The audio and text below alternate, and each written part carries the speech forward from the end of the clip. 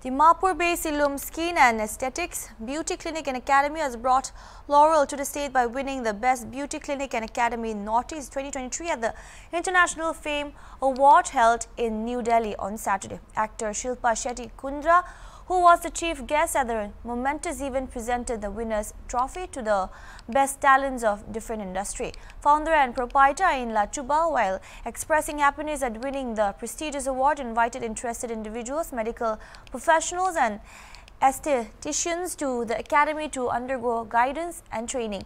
The academy is looking to find people who are pushing beyond the boundaries and discovering new ways to tackle the problems facing the sector. We've uh, been awarded as the Best Beauty Clinic 2023 Northeast and this only motivates us to perform better and to uh, bring great new treatments for our clients.